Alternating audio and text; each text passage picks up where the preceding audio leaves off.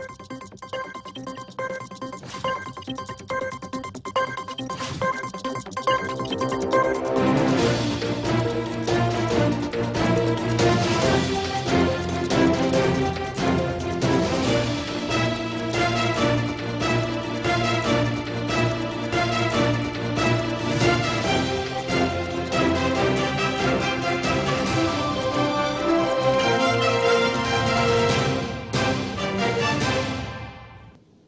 ආයුබෝවන් සැමට කලින් සත්‍ය හරියටම කියන සියත ප්‍රධාන පුවත් විකාශයයි මේ මම ලක්ෂිකා ප්‍රනන්දු ප්‍රථමයෙන් සිරස්තල පැය තිස්හයකට පසු මෙරටින් තවත් කොවිඩ් ආසාධිතීන් තිදෙනෙකු හමුවෙයි. සමස්ත ආසාධිතීන් ගණන දෙසිය හතලිස් එක දක්වා ඉහලට මැනිං වෙළඳ පොළ තවත් සතියකට වසයි. සහන දෙන්න ගිය සමුෘද්ධි නිලධහරියෙකුට පිරිසක් පහරදෙයි. COVID-19 සෞඛ්‍ය සහ සමාජ ආරක්ෂණ අරමුදලේ තැන්පත් ශේෂය රුපියල් මිලියන හත්සිය තිස් හත ඉක්මවයි. සහන වැඩපිළිවල රජයේ නිලධහරීන් හරහා පමණක් සිදු කරන්න සජිත්ගෙන් යෝජනාවක්. රජයේ කොරෝනා මර්ධන වැඩපිළිවල අසාර්ථකයි ජවිපෙන් චෝදනා. රාජ්‍ය නිලධහරීන් ලෙස ජනතාවගේ ආරක්ෂාව රැකගැනීම අපේ වගකීමක් ආරක්ෂකලේ කම් කියයි. කොළඹ වරායේ බහලු මංගනයේ ධාරිතාව උපරිමයට ළඟාවෙයි. බහලුම් නිදහස් කරගන්නැයි වරාය අධිකාරියෙන් ඉල්ලීමක්. ප්‍රථමයෙන් දේශීය පුවත්.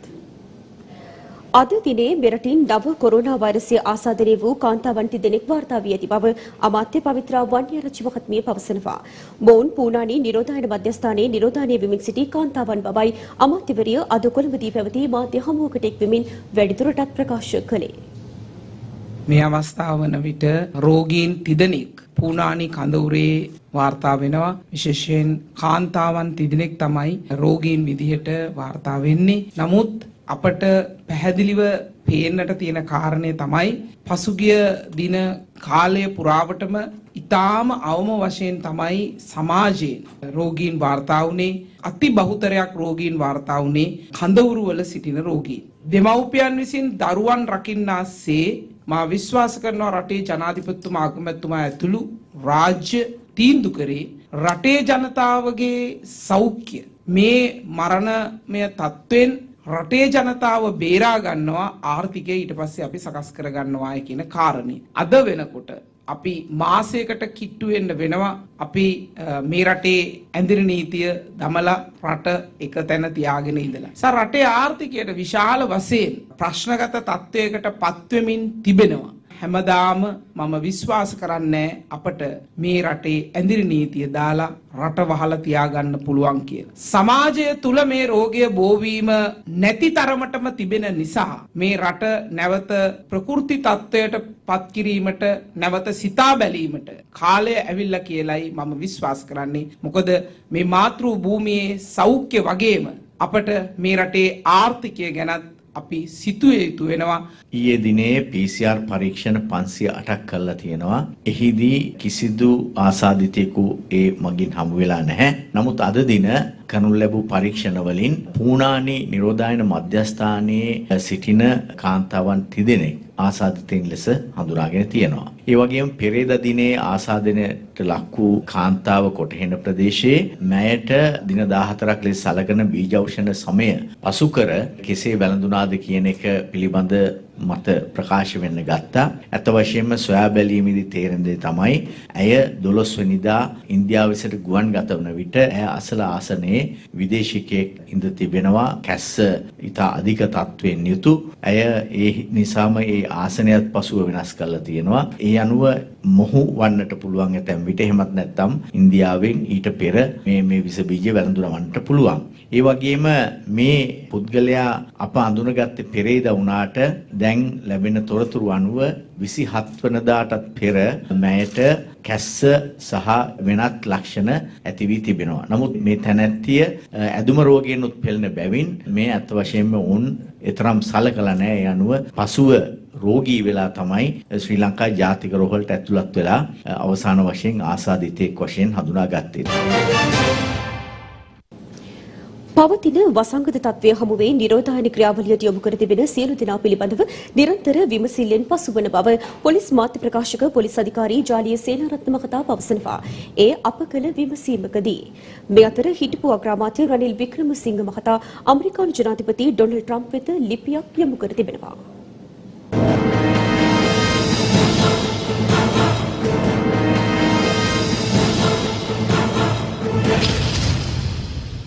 COVID-19 වෛරසය රට තුළ පැතිරයාම වැළැක්වීම සඳහා නිරෝධායන කටයුතු අකණ්ඩව සිදු කරමින් පවතිනවා. ඒ අනුව නිරෝධායනය සාර්ථකව අවසන් කළ පුද්ගලින් දෙසේ විසි දෙදෙනෙකු අද දින පූනානි නිරෝධායන මධ්‍යස්ථානයෙන් පිටව ගිය බවයි යුදහපුදා මාධ්‍ය ඒකකය සඳහන් කළේ. එසේම කොරෝනා වෛරසය හඳුනා ගැනීම සඳහා සිදු කරන PCR පරීක්ෂණ පන්සියක් පමණ ඊයේ දින සිදු කළද ඉන් කිසිදු ආසාධිතයෙකු වාර්තා නො බව සෞඛ්‍ය සේවා අධ්‍යක්ෂ ජෙනරාල් විශේෂඥ වෛද්‍ය අනිල් ජාසිංහ මහතා පවසනවා. මේ වන විට දිවයින පුරා පරීක්ෂණාගාර දහතුනක PCR පරීක්ෂණ සිදු කරනු ලබන අතර හෙට දිනේ සිට මඩකලපුව ශික්ෂණ රෝහලේද එම පරීක්ෂණ ආරම්භ කිරීමට නියමිතයි. මේ අතර දිස්ත්‍රික්ක අතර ගමන් කිරීමේදී ලබාගත යුතු ඇඳරි නීති බලපත්‍රය නොමැතිව කොළඹ සිට අනුරාධපුරයට පැමිණි තරුණයෙකු දින 14ක කාලයක් නිරෝධායන කිරීමට අනුරාධපුර සෞඛ්‍ය වෛද්‍ය නිලධාරීවරුන් අද දින කටයුතු කර තිබෙනවා.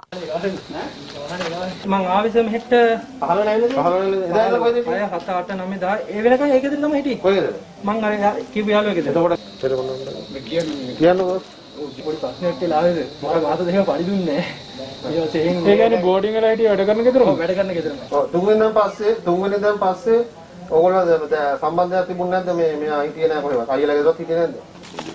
මේ අවුලනේ නිරෝධායනය සඳහා මාර්තු මාසේ 17 වෙනිදා මේ වෙන විට මාසයක් ගත වෙලා තියෙනවා. මේ කාලය තුලදී සොයන් නිරෝධායන කටයුතු සඳහා 62000කට අධික පිරිසක් යොමු කරලා තියෙනවා. මේ 62000න් මේ වෙන විටත් තවමත් නිරෝධායනය සඳහා නිරෝධායනයට සහභාගී වෙමින් සිටිනවා 23000කට අධික පිරිසක්.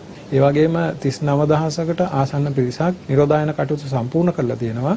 පොලිස්පතිතුමාගේ විශේෂ නියෝගයක් අනුව මේ වෙන විට ශ්‍රී ලංකාවේ සෑම පොලිස් ස්ථානයකම සෑම බල ප්‍රදේශයකම මේ නිරෝධායනය කටයුතු අවසන් කර තිබෙන තැනැත්තන් පිළිබඳව නැවත පසුවිපරමක් සිදු කරනවා. සෞඛ්‍ය අංශ වලින් හඳුනාගෙන තිබෙන යම් අවස්ථාවලදී මූලිකව නිරෝධායනය අවසන් වූ කිහිප දෙනෙකු නැවත රෝග ලක්ෂණ පහළ වීම පිළිබඳව ඒ අනුව මේ නිරෝධායනය සම්බන්ධයෙන් මේ වෙන විට නිරෝධායන කටයුතු අවසන් කරලා තියෙන සෑම කෙනෙක් සම්බන්ධයෙන්ම පසුවිපරමක් කරගෙන යනවා මේ වෙන විට එසේම වෛරසය රට තුළ පැතිර යාමත් සමග ගර්භණී කාන්තාවන් ඒ පිළිබඳව අනිසි බියක් ඇති කර නොගත යුතු බවයි සෞඛ්‍ය ප්‍රවර්ධන කාර්යාංශය ඉල්ලා සිටින්නේ. ශ්‍රී ලංකාවේ දැනට තියෙනවා රෝහල් නාරිහා ප්‍රසව විශේෂඥ වෛද්‍යවරුන් සිටින රෝහල් 100ක් පමණ.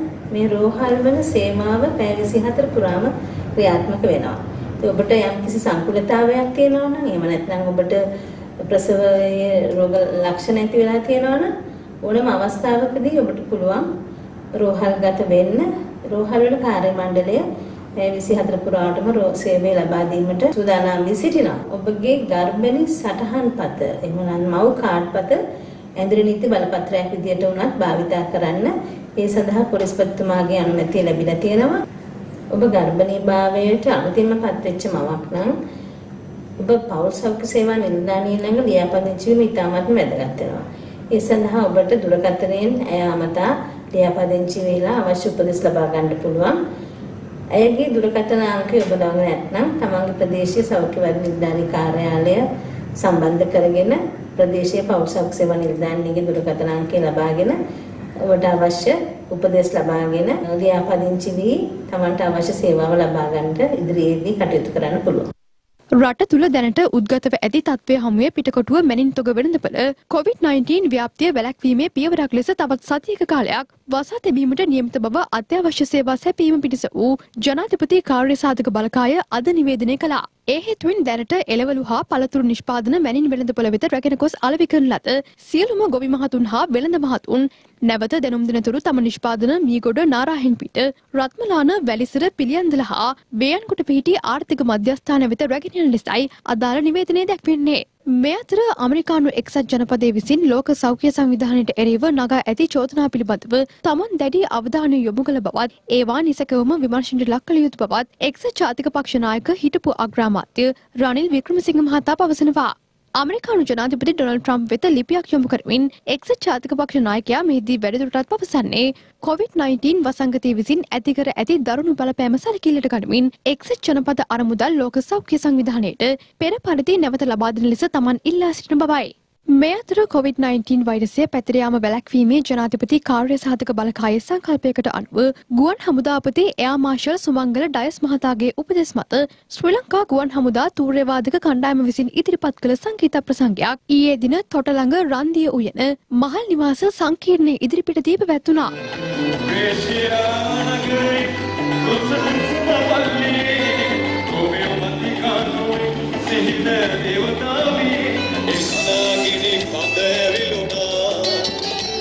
සිත නිවාගන්න තවම බැරි එසේම ශ්‍රී ලංකා යුද හමුදාව විසින් සංවිධානය කළ සංගීත ප්‍රසංගයක් මරදාන ප්‍රදේශයේදී පැවැත්වුණා. ගංගාදිය ඇල් ගලා යන ලෙස ඉදිරිය බලා බාධක හැම බිඳ හෙලා යමු යමු පෙරමුණ බලා මේ අතර මැලේසියාවේ සිටින ශ්‍රී ලාංකිකින් පිරිසක් රජයෙන් ඉල්ලා සිටින්නේ පවතින වසංගත තත්ත්වය හමුවේ ඔවුන් හැකි ඉක්මනින් මෙරටට ගෙන්වා ගන්නා ලෙසයි. අපි මේ මැලේසියාවේ රටේ රස්සාවකට ඇවිල්ලා අද වෙනකොට මේ කොරෝනා හින්දා හිර වෙලා ඉන්න කට්ටිය අපි දැනට අවුරුද්දකට කලින් මැලේසියාවේ සෙලංගෝර් කියන ප්‍රදේශයට හැකියාවකට ඇවිල්ලා ඉන්නවා. අපි ලංකාවේ ගොඩක් කට්ටිය මෙතන ඉන්නවා. දැනට ගිය මාසේ 17 වෙනිදා අපේ ආයතනය මේ කොරෝනා හින්දා වැඩ නැවැත්තුවා. ඒ වැඩ නවත්තපු දවසේ ඉඳන් අද වෙනකන් අපිට රැකියාවෙන් ලැබෙන්න තිබිච්ච වැටුප් ඒවා ඒ මුකුත් අපිට ලැබෙන්නේ නැහැ. අපි ගොඩක් අසරණ වෙලා ඉන්නේ මේ වෙලාවේ. කොරෝනා දවසින් දවස මැලේසියාවේ මේ වෙනකොටත් ගොඩක් ලොකු රෝගීන් ගාණක් ඉන්නවා. වගේම දිනකට 150කට ආසන්න ගාණක් දිනපතා වැඩි වෙනවා. අතිගරු ජනාධිපතිතුමාට ගොඩක් රටවල් වලින් කට්ටිය කියනවා, ගරු අගමැතිතුමාට ගොඩක් රටවල් වලින් කට්ටිය කියනවා. ඒ වගේම අපිත් තීරණය කරා අපේ දුක අපේ ආණ්ඩුවට කියන්න මේ කරදරෙන් බේරගන්න මේ තැනින් අපිව ලංකාවට ගන්න කියලා තමයි අපි ඔයගොල්ලෝ හැමදෙනාගෙන් ඉල්ලා හිටින්නේ. කොවිD-19 සෞඛ්‍ය සහ සමාජ ආරක්ෂණ අරමුදලේ තැන්පත් ශේෂය මේ වන විට මිලියන 737 ඉක්මවා තිබෙනවා.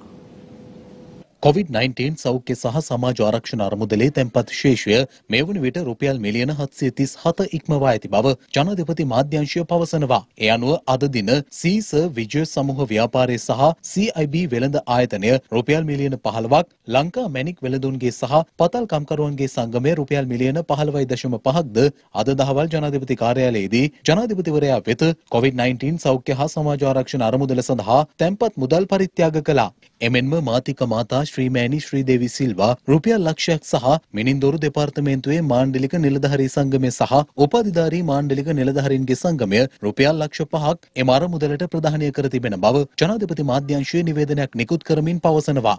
මේ අතර COVID-19 සෞඛ්‍ය සහ සමාජ ආරක්ෂණ අරමුදල වෙත අද දිනේද මුදල් ආධාර කිහිපයක් ලැබුණු බව අග්‍රාමාත්‍ය කාර්යාලය නිවේදනයක් නිකුත් කරමින් පවසනවා. ඒ අනුව ශ්‍රී ලංකා වාස්තු විද්‍යාඥයන්ගේ සංගමය මගින් රුපියල් ලක්ෂ පහක්ද බස්නාහිර පළාතේ පළාත්බද මාර්ග සංවර්ධන අධිකාරිය මගින් රුපියල් මිලියන පහක්ද COVID-19 සෞඛ්‍ය හා සමාජ ආරක්ෂණ අරමුදල වෙත පරිත්‍යාග කර තිබෙනවා. එය අග්‍රාමාත්‍ය මහින්ද රාජපක්ෂ මහතා වෙත පිළිගන්වනු ලැබුවා. මේ අතර යූ පිං මහතා සහ චීන ව්‍යාපාරිකින් පිරිසක් විසින් රුපියල් ලක්ෂ 50කට අධික වටිනාකමකින් යුත් සෞඛ්‍ය ආරක්ෂිත උපකරණද මෙහිදී අග්‍රාමාත්‍යවරයා වෙත පිළිගැන්වීම සිදු කළා.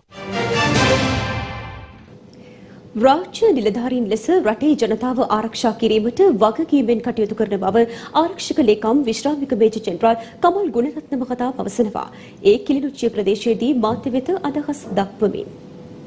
ආරක්ෂක ලේකම් විශ්‍රාමික මේජර් ජෙනරාල් කමල් ගුණරත්න මහතා අද උතුරු පළාතේ සංචාරයක නිරත වුණා. උතුරු පළාතේ යාපනය කිලිනොච්චිය සහ වවුනියාව දිස්ත්‍රික්කයන්හි ආරක්ෂක අංශ සමාජිකයින් හමුවීම සහ වර්තමානයේ උතුරු පළාතේ ආරක්ෂක තත්ත්වය නිරීක්ෂණය කිරීම සඳහායි ආරක්ෂක ලේකම්වරයා මෙම සංචාරයට එක් වුණේ. කොරෝනා වසංගතය හමුවේ සක්‍රීය දායකත්වයක් ලබා දෙන ආරක්ෂක අංශ නිලධාරීන්ට සිය ස්තුතිය පළ කිරීම සඳහා ආරක්ෂක ලේකම් විශ්‍රාමික මේජර් ජෙනරාල් කමල් ගුණරත්න මහතා මෙලෙස පැමිණියා. මේ දවස්වල මේ කොවිඩ්-19 වෛරසයෙන් අපේ රට පමණක් නෙවෙයි මුළු ලෝකයම ඒ ගැන බොහොම කනස්සල්ලෙන් ගත කරද්දී අපේ රටේ ජනතාව දෙපයින් නැගිටලා ඉන්නවා. බලවත් රටවල් වල අයවලුන් ඒ රාජ්‍යයන් රාජ්‍ය නායකයින් වගේම රටවැසියන් වෛරසයට ගියේ දණින් වැටිලා ඉඳිද්දී ඒ වගේම ඒ බලවත් රටවල් වල ජනතාව දහස් ගණනින් එක දවසක් තුල මිය යද්දී අපේ රටේ ජනතාවට එවැනි තර්ජනයක් ඇති නොවෙන්න රාජකාරිය අකුරටම ඉෂ්ට කරන කොටස් තමයි හමුදාව පොලිසිය සහ සෞඛ්‍ය අංශ මට යුතුයකමක් තියෙනවා ඒ අය රාජකාරී කරන ප්‍රදේශයට ඇවිල්ලා ඒ අයගේ සේවය අගයලා හැකි වෙන පරිදි තව තවත් ඒ අය දිරිමත් කරන්න තමයි අද මම මේ ඇවිල්ලා මේ අයට කතා කරන්නේ. අතිවරණ කාලෙක මේ සල්ලි දෙන්නේ කියලා ඒ වෙලාවට කොවිඩ් 19 එකේ ආර්ථික කොහොමද?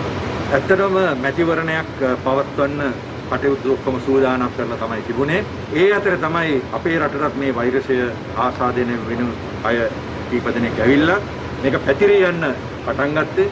නමුත් අපිට අපි රජයේ නිලධාරීන් විදියට රජයේ හමුදාවන් විදියට අපිට මැතිවරණය නෙවෙයි වැදගත් අපේ රටේ ජනතාව බයක් සැකක් නැතුව මේ රෝගය වැළඳෙන්නේ නැතුව ජීවත් වෙන එක තමයි අපිට වැදගත්. ඉතින් ඒක නිසා මැතිවරණ පැවැත්වීම රජයේ කාර්යභාරයක්. නමුත් මේ රෝගය පැතිරීම වැළැක්වීම රජයේ වගේම ආරක්ෂක අමාත්‍යාංශයේ සෞඛ්‍ය අමාත්‍යාංශයේ වගකීමක්. රජයේ නිලධාරීන් විදියට අපි අපේ රටේ ජනතාව ආරක්ෂා කරන්න මේ හැම දෙයක්ම කරගෙන යනවා.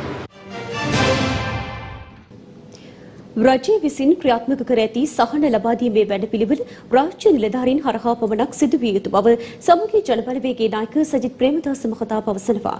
එය අද සමාජ මාධ්‍ය ඔස්සේ ප්‍රකාශයක් සිදු කරමින්. කොරෝනා වෛරසය තුලින් ඇති වී තිබෙන ඉතාමත්ම පීඩනකාරී තත්ත්වය තුළ අද තවත් කනගාටුදායක සිද්ධියක් සිදු වෙලා තිබෙනවා.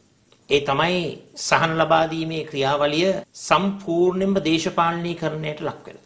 රාජ්‍ය පාර්ශවය නියෝජනය කරන පළාත් පාලන මන්ත්‍රීවරුන්ගේ ප්‍රධානත්වයෙන් මූලිකත්වයෙන් සහන ලැබීමට සුදුසුකම් ලබන කොට්ටාසයන් තේරීම තුළ අද ඊ타මත්ම අසහනයකට පත් වූ ජනතාව තවත් පීඩනකාරී තත්වයකට පත් කරලා තිබෙනවා. ග්‍රාම නිලධාරී ප්‍රජාවට තේරිලා තිබෙනවා සහන ක්‍රියාවලිය දේශපාලනීකරණයට ලක් වී තිබෙන තත්ත්වය.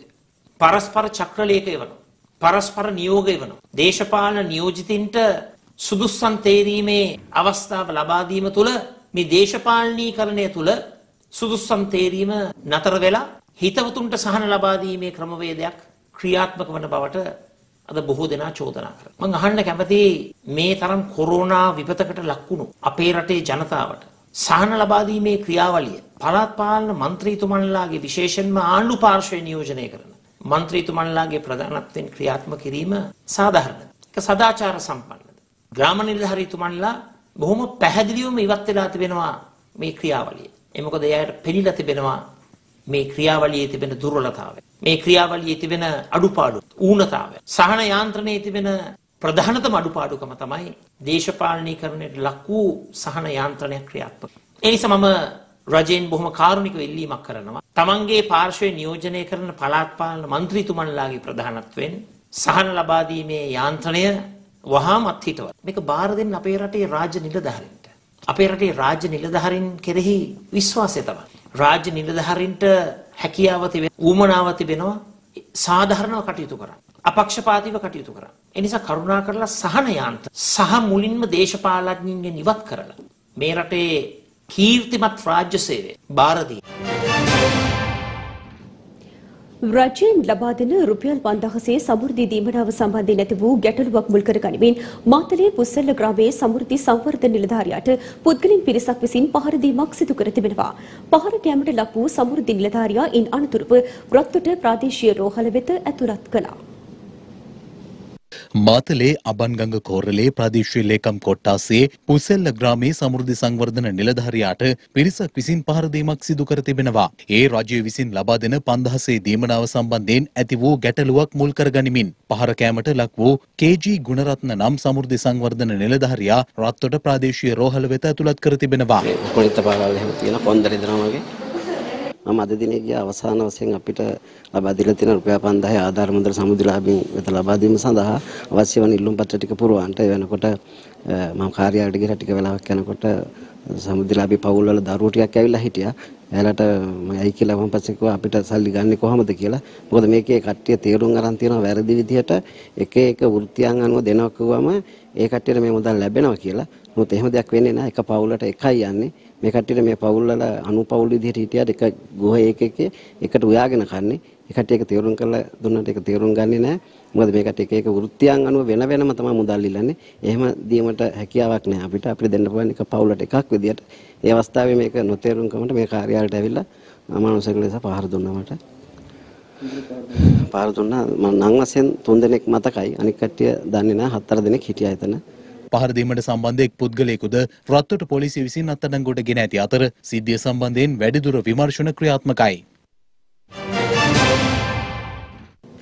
මසක් ගතවුවද රජය විසින් ක්‍රියාත්මක කර ඇති කොරෝනා මර්ධන වැඩපිළිවෙල සාර්ථක වී නොමැති බව හිටපු පාර්ලිමේන්තු මන්ත්‍රී බිමල් රත්නායක මහතා පවසනවා. එය අද සමාජ මාධ්‍ය ඔස්සේ පැවති මාධ්‍ය හමුවකදී. අප අවසන කරුණ තමයි මේ මොහොතේ මැතිවරණ පැවැත්වීමෙන් කරුණු දෙකක් වෙනවා. එකක් තමයි කොරෝනා මේ වසංගත තත්ත්වය දැන් යම්කිසි පාලිත තත්ත්වයකට තිබෙන බව නිකන් පෙනෙනවා.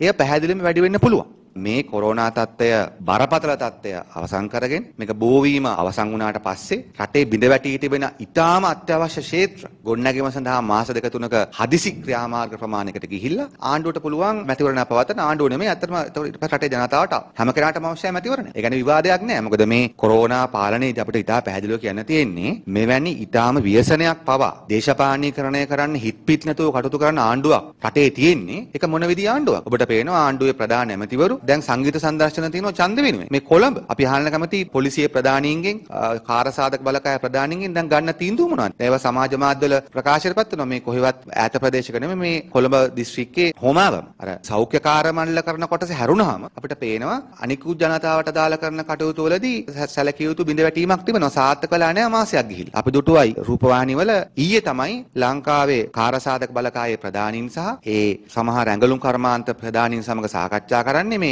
ලංකාවට අවශ්‍ය කරන මුඛාවරණ ඒවා මහන්. කොරෝනාව ඇවිල්ලා මාසෙකමාරක් වෙනවා. ලංකාවට. දැන් තමයි ඒ ගැන සාකච්ඡා කරන්නේ. අපි ඒක කියන්නේ මේ මැතිවරණයක් අවශ්‍ය බව ඇත්ත. හැබැයි මේ මැතිවරණය දැන් පැවැත්වීමෙන් එකක් ඒක ඊටාම අසාධාරණ මැතිවරණයක් කරන්නත් පුළුවන්. ඒ ඔක්කොටම වඩා අනිවාර්යයෙන්ම වශයෙන්ම කොරෝනා මර්ධන කටයුතු අඩපණ වෙන්න පුළුවන්. ඒ වගේම තමයි ඒ ඒ කොරෝනා නැවතමතු වුණොත් ඒක ඊළඟට දිගු කාලීන රටේ ආර්ථික බිඳ වැඩි දැමීමට තවත් හේතු වෙන්න පුළුවන්.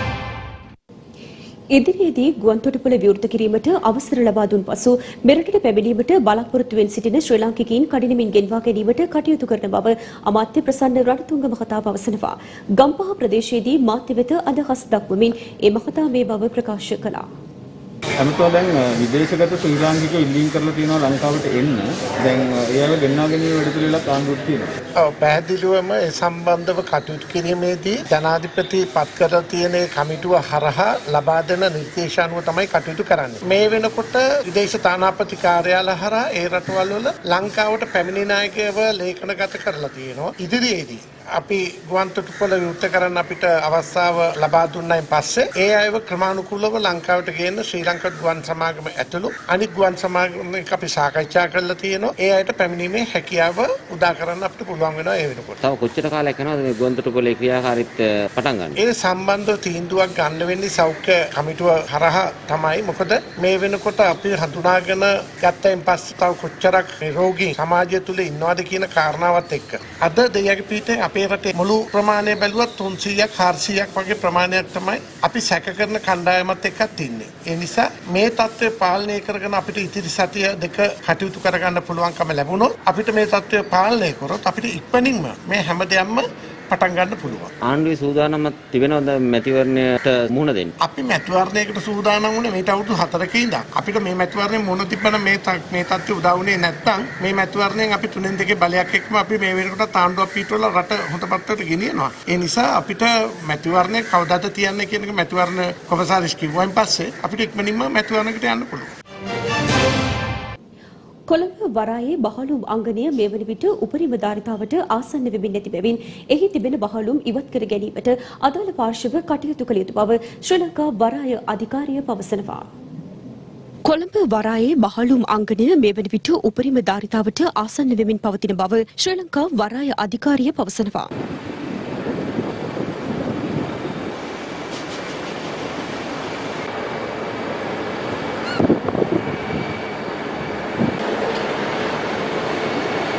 ඒ අතර පූර්ණ බහලුම් විසි අටදහසක් පමණ පර්යන්තවල ගොඩ ගැසීම හේතුවෙන් අත්‍යවශ්‍ය භාණ්ඩ මෙරටට ගොඩ පැමීදී වරාය පර්යන්තවල පවතින ඉඩ සීමිත වීම ගැටලුකාරී තත්ත්වයක් බවයි ශ්‍රී ලංකා වරාය අධිකාරිය පවසන්නේ. ඒ හේතුවෙන් ව්‍යාපාරිකින් සතු බහලුම් සහ රථවාහන ඇතුළු ආනයනය කරන ලද වෙනත් භාණ්ඩ ඇතනම් ඇඳරි නීති බලපත්‍රය භාවිත කරමින් ඒවා ඉවත් කර ගන්නා ලෙස ශ්‍රී ලංකා වරාය අධිකාරිය ව්‍යාපාරික ප්‍රජාවගෙන් ඉල්ලා සිටිනවා. ශ්‍රී ලංකා වරාය අධිකාරිය සමග එකබද්ධ වන SCGT හා CICT කියන බහලු පරයන්ත දෙක දෙක්ව අඛණ්ඩව නෞකා මෙහෙයුම් කටයුතු කිරීමට අපිට කටයුතු කරලා තියෙනවා. ඒතරම අපි සංඛ්‍යාත්මක බැලුවොත් 2019 අවුරුද්දේ මේ කාලවක වානුව තුළ නෞකා 286ක් පැමිණියත් 2020 මේ වසරේ මේ කාලවක වානුවේ මාසික කාල සීමාව තුළ නෞකා 292ක් අපි මෙහෙයුම් කරලා තිබෙනවා. ඒ තත්ත්වය තුළ අපි මූලික වශයෙන්ම දැඩි අවධානයක් යොමු කළේ අපේ රටට පැමිණෙන ආනයන විශේෂයෙන්ම මෙම අවස්ථාවේදී රට පැමිණෙන ආහාර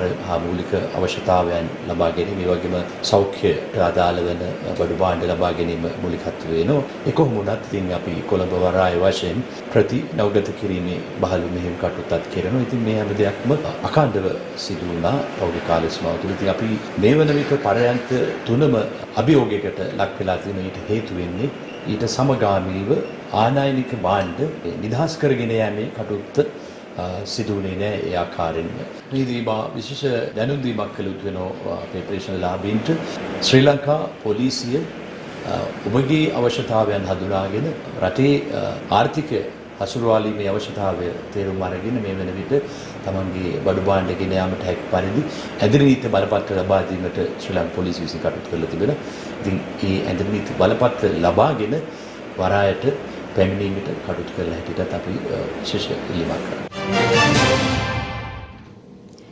මාසයක කාලයක් මෙහෙයුම් කටයුතු නතර කර දමා තිබූ කොළඹ මධ්‍යම තැපැල් හෝමාරුවේ අභ්‍යන්තර කටයුතු අද දිනේ සිට ආරම්භ කළ බව තැපැල්පති රංජිත් ආරියරත්න මහතා සඳහන් කළා.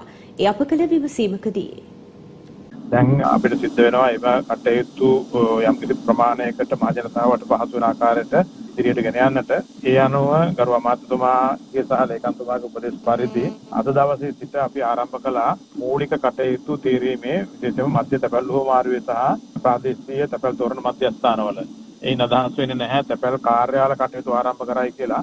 තැපැල් කාර්යාල කටයුතු ආරම්භ කිරීම සම්බන්ධව අද දවසේ විශේෂ සාකච්ඡාවක් පැවැත්වෙන අමාත්‍යාංශ ලේකම්තුමාගේ ප්‍රධානත්වයෙන් විශේෂයෙන්ම විදේශ තැපැල් සම්බන්ධව කටයුතු කිරීමේදී ශ්‍රී ලංකා රේගු දෙපාර්තමේන්තුවත් සමග ඒකාබද්ධව අපිට කටයුතු කරන්න සිද්ධ වෙන්නේ මේ තැපැල් බෙදා හැරීමේ කටයුතු කරන්න වෙනවා අභ්‍යන්තරික අපේ කාර්යාල අතර ඒ සඳහා අපිට මේ අවස්ථාවේදී දුම්රිය සහ ලංගම බස් රථ ධාවනය නොවන නිසා අපේ තියෙන ප්‍රවාහන පහසුකම් පමණයි අපිට පාවිච්චි කරන්න වෙන්නේ. ඒ නිසා අපිට ඒ කටයුත්තට දින 3ක පමණ කාලයක් ගත වෙයි කියලා අපි විශ්වාස කරනවා. ඒ අනුව අපි බෙදා හැරීම් කටයුතු 21 හෝ 22 දිනවල සිදු කිරීමට පුළුවන් වෙයි කියලා විශ්වාස කරනවා. සමගී ජනබලවේගයේ සහ එක්සත් ජාතික පක්ෂය කිසිදු ආකාරයකින් කොරෝනා වෛරසය මැඩ පැවැත්වීමට රජයට සහාය පළ නොකරන බව හිටපු රාජ්‍ය අමාත්‍ය ශෙහාන් සේමසිංහ මහතා පවසනවා. අනුරාධපුර ප්‍රදේශයේ පැවති මාධ්‍ය හමුවකට එක්වෙමින් ඒ මහතා මේ බව සඳහන් කළා.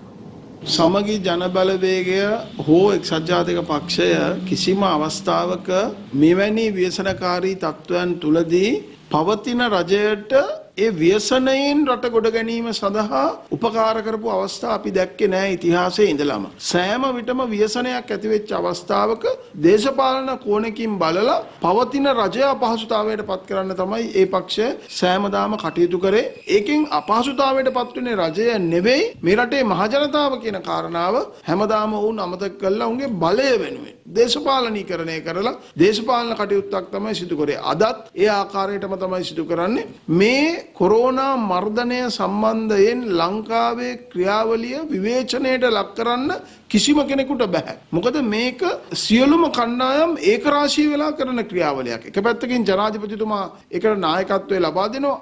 අගමැතිතුමා ප්‍රමුඛ රජය එක මෙහෙවීම සිදු කරනවා ත්‍රිවිධ හමුදාව පොලිසිය සිවිල් ආරක්ෂක බලකාය හෙද කාර්ය මණ්ඩලය ඊළඟට රාජ්‍ය සේවකයන් මේ සියලුම දෙනා එක කණ්ඩායමක් හැටියට තීන්දුව తీරන ක්‍රියාත්මක කරමින් උවදුරුකාරී අවස්ථාව මර්ධනය කරන්න අවශ්‍ය වැඩ කටයුතු සිදු කරන. ඒ හින්දා මෙතනදී සිදු කළ යුත්තේ දේශපාලන ભેදකින් තොරව රටේ ජනතාව මුදවා ගැනීම සඳහා සියලුම දෙනා රජයට සහයෝගය දක්වීම. ඊට පස්සේ පුළුවන් එයාලට පුළුවන් දේශපාලනය කරන්න.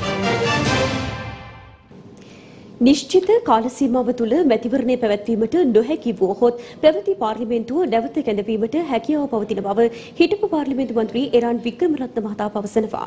ඒ මහතා මේ බව ප්‍රකාශ කළේ අද කොළඹදී පැවති මාධ්‍ය හමුවකදී. මැතිවරණයක් තියෙන එකේ වැඩපිළිවෙල තීරණය වෙන්නේ ව්‍යවස්ථාවෙන් තීරණය වෙන්නේ. පසුගිය පාර්ලිමේන්තුවට අවුරුදු 5ක ජනවරමක් තියෙනවා. එතකොට ජනාධිපතිතුමා මොනවද කළේ? ඔහුගේ බලතල පාවිච්චි කරලා ඒක හතරහා මාරකට සීමා කළා. එතකොට මාස 3ක් ඇතුළතදී මැතිවරණය තියලා පාර්ලිමේන්තුවක් ජූනි 2 වෙනකොට කැඳවන්න ඕනේ. ජූනි 2 වෙනකොට මේ පාර්ලිමේන්තුව කැඳවන්න බැරි නම් අනිවාර්යයෙන්ම බලතල තියෙනවා තිබුණ පාර්ලිමේන්තුවට අවුරුදු 5ක ජනවරමක් තියෙන නිසා ඒ පාර්ලිමේන්තුව කැඳවන්න. එතකොට ඒ පාර්ලිමේන්තුව විසිරවන්න අවශ්‍ය නැහැ සැප්තැම්බර් 1 වෙනිදා වෙනකම්. එතකොට ආයෙත් අලුත් පාර්ලිමේන්තුව දෙසැම්බර් පළවෙනිදා වෙනකන් ඒක රැස් කරන්න අවශ්‍යතාවයකුත් නැහැ. එතකොට රජයට ඉඩකඩක් ලැබෙනවා නිත්‍යානුකූලව, විවස්ථානුකූලව විශේෂයෙන්ම මේ වෛරසය මර්ධනය කිරීමටත් මිනිස්සුන්ට හුස්ම ගන්න ටිකක් වෙලා දෙන්න. අපිට කියන්න කැමති මේ අවස්ථාවේදී අපි ආණ්ඩුවට රාජ්‍යයට සහයෝගය දෙන්න කැමති. නමුත් ඒ සහයෝගය දෙන්නේ කොරෝනා මර්ධනයට. ප්‍රජාතන්ත්‍රවාදී මර්ධනයට නෙවෙයි. නිදාස් මර්ධනයට නෙවෙයි. තීරණ ගන්න ඕන. ප්‍රධාන විපක්ෂයට තියෙන අරන් තියෙනවා එළියට එන්න දැන් අපි. අපිට දන්නව කොහොමද මේ කොරෝනා අවස්ථාවේදී ඇසිරෙන්න ඕන කියලා දන්නවා අපිට. සෝෂල් ඩිස්ටන්ස් එක තියාගෙන යනවා. ඒ නිසා පොලිස් ප්‍රතිමා ළඟ මින් පසු අපි අවසර ඉල්ලන්නේ නැහැ. මොකද එහෙමනම් කැබිනට් එක පවත්වන්න බෑනේ. ආණ්ඩු පක්ෂ පක්ෂ නායකවරු රැසි පවත්වන්න බෑනේ. අපිට විතරයි ඒ ඊර කරන්නේ. ඒවනම් නිරෝධාන යාන යනවා නම් මුළු කැබිනට් එක යවන්න ඕනේ ඉස්සර මෙතකොට. අපිව නෙවෙයි. ඒ නිසා අපිට දන්නවා වැඩ කරන්න ඕන. ආණ්ඩු පවතින්න ඕන. රට පවතින්න ඕන. ඒක කරනවා ඒක. ජනාධිපති ගෝඨාභය රාජපක්ෂ මහතා සහ සමගී ජනබලවේගයේ නියෝජිතයින් අතර පැවති හමුව සම්බන්ධයෙන් සමාජගත වී ඇති අසත්‍ය තොරතුරු පිළිබඳව පැහැදිලි කිරීම සඳහා සමගී ජනබලවේගයේ මහලේකම් හිටපු පාර්ලිමේන්තු මන්ත්‍රී රංජිත් මද්දුම බණ්ඩාර මහතා නිවේදනයක් නිකුත් කර තිබෙනවා. සමගි ජනබලවේගයේ විසින් ජනාධිපතිවරයා සමග පැවති සාකච්ඡාව සම්බන්ධයෙන් නිවේදනයක් නිකුත් කර තිබෙනවා. උපුටා ගැනීම ඉහත මාතෘකාව ප්‍රකාරව අදාළ සාකච්ඡාව පිළිබඳව සමාජය නොමග යවන සුළු කාරණා කිහිපයක් රජයට සම්බන්ධ යම් යම් මාධ්‍ය කිහිපයක් විසින් සමාජගත කර ඇති අතර ඒ සම්බන්ධ සත්‍ය තත්ත්වය හෙළි කිරීම අපගේ වගකීමක්සේ සලකමු. කොරෝනා උවදුර සහ ඒ සමග ඉස්මතුව පවත්නා කාලීන තත්ත්වයක් පිළිබඳව ජනාධිපතිවරයා සමග සාකච්ඡාවක් පැවැත්වීම සුදුසු බවට සමගි ජනබලවේගයේ පක්ෂ නායකින් ඒකමතිකව තීරණය කර අතර ඒ සඳහා ජනාධිපති කාර්යාලයෙන් ලැබුණේ අප්‍රේල් 6 වන දිනයි. ඒ අනුව සමගි ජන බලවේගයේ පක්ෂ නායකින් තීන්දුව කරනු ලැබුවේ අදාළ සාකච්ඡාවට පක්ෂයේ නායකයා ලෙස සජිත් ප්‍රේමදාස මහතාත් මහලේකම්වරයා ලෙස මාත් සහභාගී වීම ප්‍රමාණවත් බවය. මෙම රැස්වීම පිළිබඳව ඇති සමාජගත කොට ඇති මිත්‍යාවක් වන්නේ අප ලැබූ අයට අදාළ රැස්වීමට අවසර නොලැබුණු බවය. එයින් ගම්‍ය කිරීමට උත්සාහ දරන බංකොලොත් දේශපාලන ඕමනාව අතිශයෙන්ම විහිළු සහගත සහ පදනම් විරහිත එකකි. එය බංකොලොත් බවටම උරුම පිළිකුලෙන් අප බැහැර කරන අතර අප ලැබුවන්ට එම රැස්වීම තහනම් වනවා නම් ජනාධිපතිවරයාත් ඔහුගේ පුද්ගලික කාර්ය මණ්ඩලයේ බොහෝ දෙනෙකුත් ජනාධිපති ලේකම්වරයා ඇතුළු විශාල පිරිසකුත් අගමැතිවරයා ඇතුළු කැබිනට් මණ්ඩලයේ බොහෝ දෙනෙකුත් නඩු කටයුතු සහ අපවලට මුහුණ දුන් අයවලුන්ය. පදනම් විරහිත හිතලු මත පිහිටා ස්වකීය බංකොලොත් තර්ක ගෙන හැරපාමින් කරනු ලබන මිත්‍යාවන් වැපිරවීම පිළිබඳව සමගි ජන බලවේගයේ අප්‍රසාදය පළ කරන අතර ශිෂ්ට සම්පන්න මාවතෙහි පිහිටා කටයුතු කරන මෙන් උපුටා ගැනීම අවසන්. රංජිත් මද්දුම බණ්ඩාර මහලේකම් සමගි ජන බලවේගය. මැතිවරණය කල් දැමීමට කටයුතු කරන්නේ නම් එය නීතිමය ක්‍රියාමාර්ගවලට අනුකූලව සිදු කළ යුතු බව පෙරටුගාමී සමාජවාදී පක්ෂයේ ප්‍රචාරක ලේකම් පුබුදු ජාකුඩ මහතා පවසනවා. එය අද කොළඹදී පැවති මාධ්‍ය හමුවකදී. ඒ කියන්නේ දැන් ආණ්ඩුවේ අපිට පේනවා වැඩපිළිවෙල දෙකක්. එකක් තමයි හදිසියෙ මැතිවරණයක් ප්‍රකාශයට පත් කරලා ඒ මැතිවරණය ඇතුලේ කාටවත් ප්‍රචාරක කටයුතු කරන්න ඉඩ නොදී ආණ්ඩුව පමණක් ප්‍රචාරක කටයුතු කරමින් ප්‍රජාතන්ත්‍ර විරෝධී මැතිවරණයක් පවත්වලා බලය තහවුරු කර ගැනීම. එහෙම නැතිනම් මැතිවරණේ තියෙනවා තියෙනවා තියෙනවා කියලා කියනවා. එතකොට හැමතැනම මැතිවරණ තියන්න එපා කියලා විරෝධයක් එනවා. ඒ විරෝධය මත පදනම් වෙලා මැතිවරණේ නොපවත්තයි. මැතිවරණ තියන්නෙත් නැතුව ඉදිරියට යාම කියලා කියන්නේ ඊටාම නරක තත්ත්වයක් නරක පූර්වාදර්ශයක්. ඒක ඒ නිසා සමහර කට්ටිය අපි දැක්කා කෑ ගහනවා මැතිවරණ තියන්න එපා අවුරුද්දකටවත් මැතිවරණ එපා හමුදාවත් එක්ක රට පාලනය කරන්න කියලා මේ මේ ලංකාවට හමුදා ආණ්ඩුවල ඉතිහාසයක් නැහැ. ඒ නිසා හමුදා ආණ්ඩු හැදිල්ලක් නෙවෙයි දැන් අවශ්‍ය වෙලා තියෙන්නේ. කොහොමද මේ වසංගතයත් අ, බේරා ගනිමින් කොහොමද අපි අ, ජනතාවගේ ප්‍රජාතාන්ත්‍රික අයිතීන් රකින්නේ? මැතිවරණය මේ වෙලාවේ පවත්වන්න බෑ කියලා ඕන කෙනෙකුට තේරෙනවා. නමුත් මැතිවරණය කල් තැබිය යුතු තියෙන්නේ අ- අ- අවම වශයෙන් මේ පවතින නීතිමය රාමුව ඇතුලේ. එහෙම නැතිනම් මේක දැඩි අත්නෝමතික බලයක් ගොඩනැගීමක් බවට පත් වෙනවා. ඉතින් එහෙම එකකට දැන් විපක්ෂයේ පැත්තෙන් යෝජනා වෙලා තියෙනවා පරණ පාර්ලිමේන්තුව නැවත කැඳවන්න. ඉතින් පරණ පාර්ලිමේන්තුව ජනතා විශ්වාසයේ හීන වෙච්ච පාර්ලිමේන්තුවක්. ඉතින් ඒක නැවත කැඳවීමේ වැඩක් තියෙයිද කියලා අපිට තේරෙන්නේ නැහැ. නමුත් අපි අරාර්ථයෙන් එකඟයි. ඉතින් ඒ සඳහා අධිකරණයෙන් අර්ථ නිරූපණයක් ඉල්ලන්න ඕනේ. දැන් ඒක ජනාධිපතිවරයාගේ ලේකම්වරයා ප්‍රතික්ෂේප කරලා තියෙනවා. ඉතින් ඒක ඊටාම කනගාටු තා- එක තත්ත්වයක්. එහෙම කරන්න බෑ. හදිස්සිය ප්‍රජාතන්ත්‍ර විරෝධී ලෙස මැතිවරණයක් කැඳවීමත් වැරදි. මැ- මැතිවරණය කල් තැබීම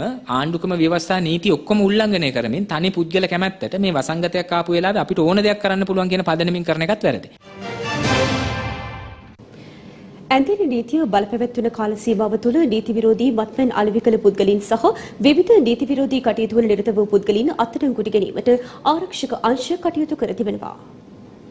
නීති විරෝධී මත්පැන් පෙරීමට යොදා ගන්නා නවීන උපකරණයක් සමග සැකකරුවෙක් මාවතකම වැවකිදර ප්‍රදේශයේදී අත්අඩංගුවට ගෙන තිබෙනවා. මෙම යන්ත්‍රය නවීන තාක්ෂණයට අනුව නීති විරෝධී මත්පැන් පෙරීමට භාවිත කර ඇති අතර එහි උෂ්ණත්වය බැලීම සඳහා මීටරයක් සවි කර තිබීමද විශේෂත්වයක්. එන්න පුළුවන් මේ බටෙන්. ඊට පස්සේ මේකෙත් ඒක රත් වෙන වතුර ටික මේකෙන් එළියට යනවා. මේක විශ්වාස වෙන කවිත් මෙතනින් තමයි එළියට එන්නේ. විශ්වාසයේ දෙන එක කම්පුඩාව තමයි. මාවතගම පොලිස් ස්ථානාධිපතිවරයාට ලැබුණු තොරතුරකට අනුව මෙම වැටලීම සිදු කර තිබෙනවා. ත්‍රිකුණාමලය හතරකනුව ප්‍රදේශයේදී දීර්ඝ කාලයක් පුරා පවත්වාගෙන ගිය සූදු ක්‍රීඩාවේ යෙදුණු ස්ථානයක් වැටලීමට උප්පුවේලි පොලිසිය ඊයේ රාත්‍රියේ සමත් වුණා. මෙහිදී කාන්තාවන් 6 දෙනෙක් සහ පිරිමි පුද්ගලින් 7 දෙනෙක් අත්අඩංගුවට ගෙන ඇති අතර ඔවුන් පොලිස් ඇපමත මුදා හැර තිබෙනවා. මෙලෙස පොලිස් ඇපමත මුදාහල පුද්ගලින් දින 14 බැගින් තම නිවෙස්වල ස්වයං නිරෝධායනයට යොමු කළා. මේ අතර පානදුර දකුණ පොලිසියේ ස්ථානාධිපතිවරයාට ලැබුණු තොරතුරකට අනුව පානදුර මහවිල ප්‍රදේශයේ නිවසක විශාල පිරිසක් රැස් කරමින් පවත්වාගෙන ගිය සූතු ක්‍රීඩා කිරීම ස්ථානයක් වැටලීමට පොලිසිය සමත් වී තිබෙනවා. මෙහිදී කාන්තාවන් දෙදෙනෙක් පිරිමි පුද්ගලයන් 6 දෙනෙක් අත්අඩංගුවට ගෙන ඇති අතර එම ස්ථානයේ තිබී රුපියල් 30000කට අධික මුදලක් පොලිසිය විසින් සිය බහරයට ගෙන තිබෙනවා. නීති විරෝධී ලෙස නිෂ්පාදනය කරන ලද මත්පැන් දංකුටු ප්‍රදේශයේ සිට ගම්පහ දිස්ත්‍රික්කයට අතුරු මාර්ග භාවිත කරමින් බෙදා හරින බවට පොලිස් විශේෂකාර්ය බලකායට තොරතුරු ලැබී තිබෙනවා. ඒ අනුව කටාන ප්‍රදේශයේදී අතුරු මාර්ගයකදී මත්පැන් ස්ප්‍රීතු ලීටර් 700ක් පමණ පොලිතින් උරවල දමා රැගෙන යමින් තිබියදී වෑන් ප්‍රතියක් සමග එහි රියදුරු අත්අඩංගුවට ගැනීමට පොලිස් විශේෂකාර්ය බලකාය සමත් වුණා. මේ අතර රාගම ජාතික රෝහලේ ආපන ශාලාවේ ඖෂධ අලෙවි කරන බවට ලද තොරතුරකට අනුව ආහාර සහ ඖෂධ නියාමන අධිකාරිය කළ පරීක්ෂාවකදී ගැබිණි මාතාවන්ට ලබා දෙන ඖෂධ වර්ගයක් එහි තිබී සොයාගෙන තිබෙනවා. රාජ්‍ය බුද්ධ්‍යංශය විසින් ලබා දුන් තොරතුරකට අනුව ඌරකස් මංහන්දිය පොලිසිය විසින් සිදු කළ වැටලීමකදී ඊයේ රාත්‍රියේ මත්පැති තොගයක් සමග සැකකරුවන් දෙදෙනෙක් අත්අඩංගුවට ගෙන තිබෙනවා. ඌරකස් මංහන්දිය පොලිස් වසමට අයත් බුලුග හන්දිය සහ මිරිස්වත් යන ප්‍රදේශවල තිබියදී මත්පැති 350ක් සමග සැකකරුවන් දෙදෙනා අත්අඩංගුවට ගෙන ඇති අතර ඔවුන් ඇල්පිටිය මහේස්ත්‍රාත් අධිකරණයට ඉදිරිපත් කිරීමට නියමිතයි. ඇඳිරි නීතිය බලපැවැත්වෙන කාල සීමාව තුළ හෙරොයින් අලෙවි කළ කාන්තාවක් ලද තොරතුරක් මත කොලියාපිටිය කොට්ටාස විශ්ව මත් නිවාරණ ඒකකයේ නිලධාරීන් විසින් අත්අඩංගුවට ගෙන තිබෙනවා. මෙහිදී අදාළ කාන්තාව සන්තකයේ තිබී රුපියල් ලක්ෂ දෙකකට ආසන්න හෙරොයින් තොගයක් සොයාගත් බවයි කොලියාපිටිය කොට්ටාස විශ්ව මත් නිවාරණ ඒකකයේ නිලධාරීන් සඳහන් කළේ. දැන් රටවටා පුවත් කිහිපයක් කෙටියෙන්. COVID-19 වසංගතය නිසා දැනට ක්‍රියාත්මක නොවන රාජ්‍ය ආයතන සහ පෞද්ගලික ආයතන නැවත අප්‍රේල් මස 20න් පසු ක්‍රියාත්මක කළහොත් අප්‍රේල් 20න් පසු සති දෙකක කාලයක් පොදු ප්‍රවාහන සේවා අත්‍යවශ්‍ය සේවා සඳහා පමණක් ක්‍රියාත්මක කිරීමට පියවර ගන්නා ලෙස අමාත්‍ය මහින්ද අමරවීර මහතා උපදෙස් ලබා දී තිබෙනවා. මේ අතර කල්ලිකුතු රියදුරු බලපත්‍ර වළංගු කාල සීමාව COVID-19 වසංගතය අවසන් වන තෙක් දීර්ඝ කිරීමට කටයුතු කරන්නයි අමාත්‍ය මහින්ද අමරවීර මහතා මෝටර් රථ ප්‍රවාහන දෙපාර්තමේන්තුවට උපදෙස් ලබා දී තිබෙනවා. හිටපු පාර්ලිමේන්තු මන්ත්‍රී විජයදාස රාජපක්ෂ මහතා විසින් මැතිවරණ කොමිෂන් සභාව වෙත කල් දැමූ පාර්ලිමේන්තු මැතිවරණය සම්බන්ධයෙන් කරුණු නමයක් සහිත ලිපියක් යොමු කර තිබෙනවා. එහිදී හිටපු මන්ත්‍රීවරයා විසින් පෙන්වා දෙන්නේ හදිසි තත්වයක් හෝ අනපේක්ෂිත හේතුවක් නිසා මැතිවරණය කල් දැමීම සඳහා මැතිවරණ කොමිෂන් සභාව කටයුතු කර තිබුණු නමුත් ආණ්ඩුක්‍රම ව්‍යවස්ථාවේ ප්‍රතිපාදන අනුව පාර්ලිමේන්තුව විසිරවන ලද දිනේ සිට මාස තුනක කාල සීමාව නොඉක්මවන දිනයක කල් දමනු ලබන මැතිවරණ දිනය සඳහා නොකිරීම මගින් මැතිවරණ කොමිෂන් සභාව ආණ්ඩුක්‍රම ව්‍යවස්ථාව සහ ව්‍යවස්ථා ව්‍යවස්ථාපිත නීති මගින් පැවරිය ඇති යුතුකම් සහ වගකීම් ඉටු කිරීම පැහැර ඇති බවයි. නව කොරුණා වෛරසය රට තුළ ව්‍යාප්තවීම වැළැක්වීම සඳහා නාවික හමුදාව විසින් සිදු කරනු ලබන විස බීජහරණ වැඩසටහන් කිහිපයක් කොළඹ වරායට ඇතුළු වන සියලුම දොරටු පරිශ්‍රයන් වරකාපොළ මූලික රෝහල සහ පුත්තලම සහිරා මුස්ලිම් විද්‍යාලය කේන්ද්‍ර කර ගනිමින් සිදු කෙරුණා. COVID-19 වෛරස් ව්‍යාප්තිය හේතුවෙන් ගුවන් හමුදා චීන වරාය විද්‍යාපීඨයේ නිලධාරීන් සහ සෙසු නිලධාරීන් එක්ව තම පුද්ගලික පරිත්‍යාගයන්ගෙන් ත්‍රිකුණාමලය ප්‍රදේශයේ නිවෙස් තුළට සීමා වී සිටින නිලිඳු පවුල් සඳහා වියලි සලක බෙදා දීමක් සිදු කරනු ලැබුවා. මාදුරු ඔය ජාතික වනෝද්‍යානයෙන් අල්ලා ගන්නා ලද හඳුන් දිවි පැටවකු රුපියල් ලක්ෂ දෙකකට අලෙවි කිරීමට සූදානම් කර සිටියේදී වනරක්ෂණ දෙපාර්තමේන්තුවේ මහියංගන මාදුරුවේ ජාතික වන උද්‍යානයේ ගල්කඩ උද්‍යාන පිවිසුම් කාර්යාලය නිලධාරීන් විසින් එක් සැකකරුවෙකු අත්අඩංගුවට ගෙන තිබෙනවා. පාරිභෝගික සේවා අධිකාරියට ලැබුණු තොරතුරක් මත පාරිභෝගිකයින්ට නුසුදුසු රටේදී කිලෝ 300කට අධික ප්‍රමාණයක් සොයාගෙන තිබෙනවා. ඒ අනුව අදාළ සැකකරුවන් මාතලේ මහේස්ත්‍රාත් අධිකරණයට ඉදිරිපත් කිරීමට නියමිතයි. ප්‍රධාන පුවත් විකාශය අවසන්. තවත් උණුසුම් පුවත් දැනගැනීමට පිවිසෙන්න ලංකාවේ අංක එකේ සිංහල වෙබ් අඩවිය www.siyanews.lk අපගේ වෙබ් අඩවියට. යළිත් හමුවෙමු රාත්‍රී පුවත් විකාශයත් සමගින්. ඔබට සුබ සන්ධ්‍යාවක්.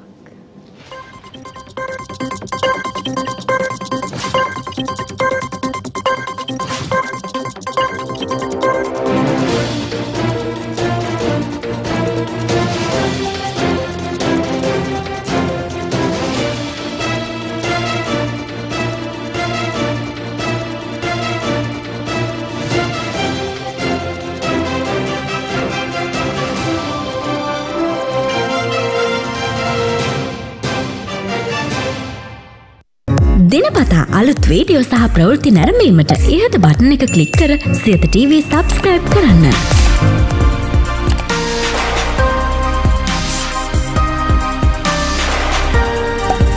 අලුත් වීඩියෝ ගැන මුලින්ම දැනගන්න මෙම සීනුව ක්ලික් කරන්න.